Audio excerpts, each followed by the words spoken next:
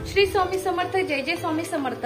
तर नमस्कार मी प्रियंका आणि माझ्या तुमची मैत्री इनोटी रेसिपी मध्ये आपले सर्वांचे खूप खूप स्वागत आहे.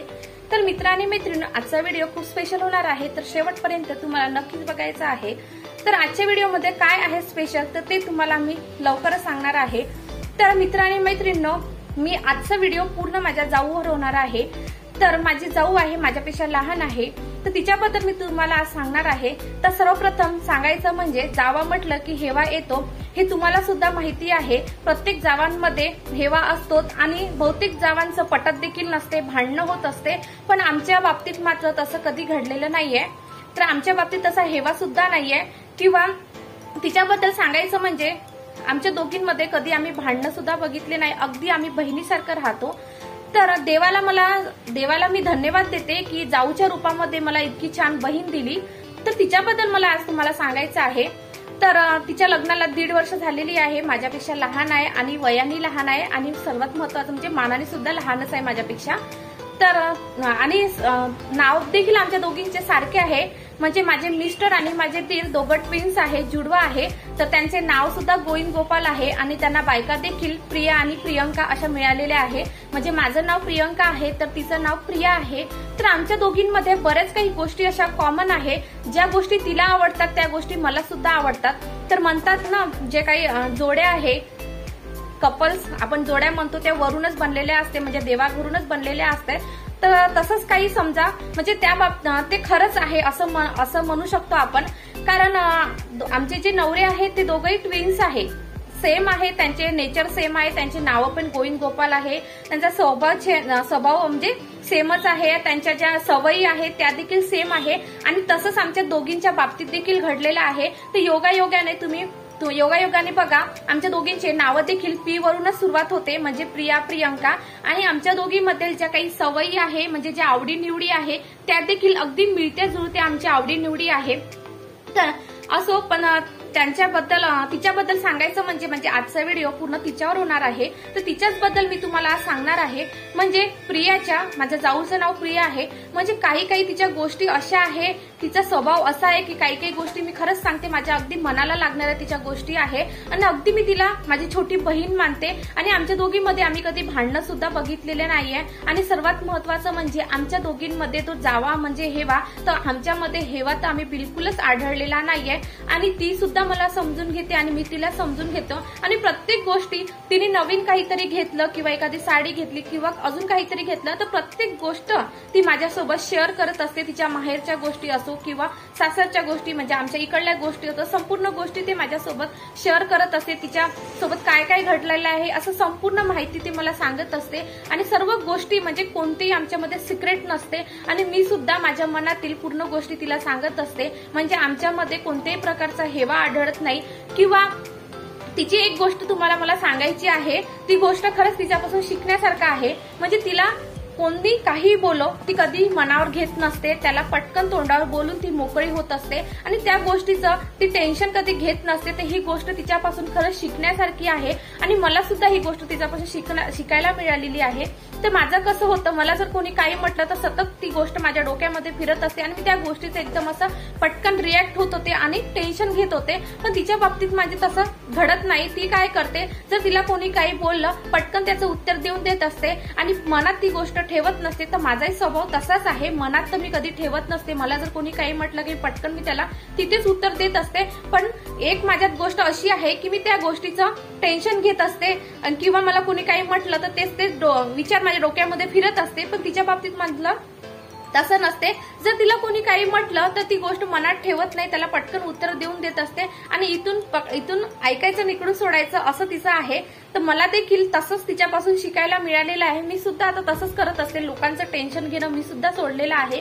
जर कोणी काही म्हटलं की त्याचं टेन्शन मी सुद्धा घेत नसते आपली लाईफ आहे मस्त एन्जॉय करायचं तर असं तिचं आहे. तर खरंच आहे आपल्या लाईफमध्ये किती प्रॉब्लेम असू दे ती त्याचं टेन्शन घेत नसते. म्हणजे एन्जॉय एन्जॉय करायचं लाईफमध्ये प्रॉब्लेम्स आहे चालतच राहणार आहे असे काहीतरी तिचे विचार आहे. तर खरंच ह्या गोष्टी काही काही तिच्यापासून मला तिने मला सांगितलेल्या नाहीये पण तिच्या तिच्याकडून मी ह्या गोष्टी खरंच शिकलेल्या आहे. आणि सर्वात महत्वाचं म्हणजे एक दुसरी गोष्ट तिच्याबद्दल सांगायची म्हणजे म्हणजे आमच्यामध्ये तर असं काही सिक्रेट असतच नसते. तर एक गोष्ट मला तिच्याबद्दल सांगायची आहे. आम्ही एक वॉटरफॉलला गेलो होतो फिरायला गेलो होतो. तर तिथे खूप चिखल होता. तर ही गोष्ट मला खरंच खूप मनाला लागलेली आहे. आणि हे हे असं आपल्यासाठी कोणीच करत नसते. एक तर आपली आई करत असते आपल्यासाठी. तर तिने माझ्यासाठी स्वतःची सख्खी बहीण सुद्धा आपल्यासाठी हे करत नसते पण तिने माझ्यासाठी केलेलं आहे. तर तिथे खूप चिखल होता आणि खूप खडे होते.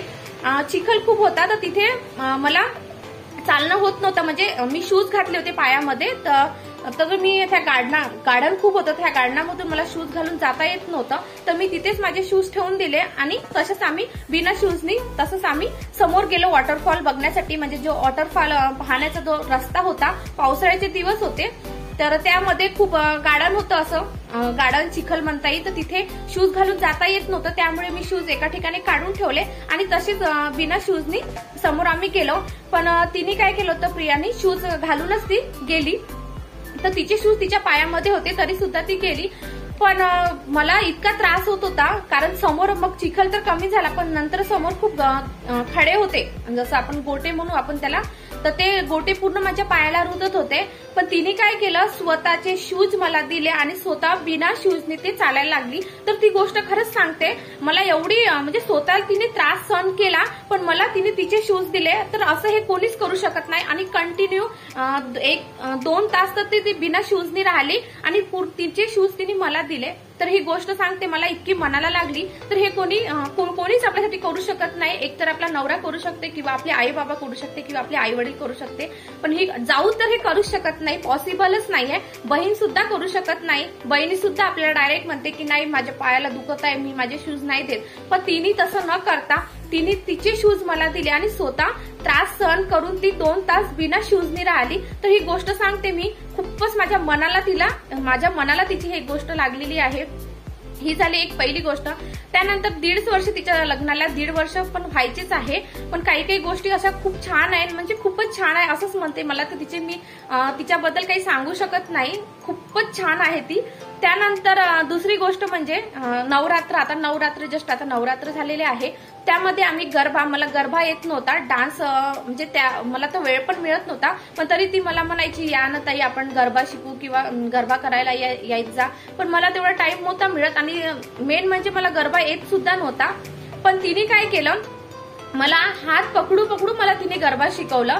तिने असा विचार नाही केला का माझ्या जाऊला येत नाही हिला हा- म्हणजे जावाजवांमध्ये म्हटलं तर कसा हेवा असतो हिला येत नाही मला येते. तर असा तिने विचार कधी केला नाही आणि स्वतः मला हात पकडून तिने पूर्ण गरबा शिकवला आणि मला आला देखील. आणि त्यानंतर दोन दिवसा पूर्ण माझ्या घरी देखील येऊन तिने मला गरबा शिकवला. तर असं हे तर कोणी करू शकत नाही. सर्वात महत्वाचं म्हणजे जाऊ तर करू शकत नाही. तर अशा प्रकारच्या आमच्या दोघींमध्ये बिलकुल प्रकार म्हणजे हेवा नाही आहे अगदी ती मला मोठ्या बहिणीसारखी मानते आणि मी देखील तिला छोट्या बहिणीप्रमाणे मानते. आणि सर्वात महत्वाचं म्हणजे मला जर तिने काही म्हटलं किंवा एडाबाई कितीदा मला तिने म्हटलंय मेकअपच्या बाबतीत सांगते तिची गोष्ट मला बिलकुल मेकअप येत नाही. तर तिने मला मेकअप करायला शिकवलं. पण असं सुद्धा म्हटलं तिने तुम्ही एड्याच आहे असं आहे. पण मला त्याचंही कधीच वाईट वाटलं नाही. आणि मी सुद्धा तिला कधी काही बोलले तर त्याचं सुद्धा ती वाईट वाटून घेत नाही. म- सर्वात महत्वाचं म्हणजे नातं टिकवणे हे आपल्या आपल्या हातात असतं. तर आमच्या दोघींमध्ये कसं असतं ना आम्ही कधी वाईट वाटून घेत नाही. तिने जर मला कधी काही म्हटलं तर मी त्याचा राग मानून घेत नाही. किंवा मी तिने मला म्हटलं किंवा मी तिला म्हटलं ती सुद्धा त्याचा राग वाटून घेत नाही. तर असामुळेच आमचं रिलेशन जे आहे ते टिकून आहे. तर एवढंच मला तिच्याबद्दल आज सांगायचं होतं. तर देवाला मी एक धन्यवाद करते की मला एवढी चांगली जाऊ दिली.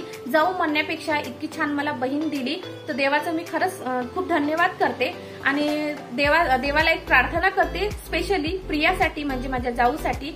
की लवकरात लवकर देवाने तिला एक गोंडस बाळ द्यावं. म्हणजे तिची ओटी लवकर भरावी. तर एवढीच मी देवाला प्रार्थना करते. आणि तुम्ही सुद्धा माझ्या माझ्या जाऊसाठी म्हणजे प्रियासाठी एक प्रार्थना करा की लवकरात लवकर तिला एक सुंदर असं बाळ होऊ दे. म्हणजे तिची ओटी लवकर भरू दे. तर एवढीच मी देवाला प्रार्थना करते. तर आजच्या व्हिडिओमध्ये एवढंच. नंतर भेटूया अशाच एका छानशा व्हिडिओ बरोबर तोपर्यंत बाय बाय.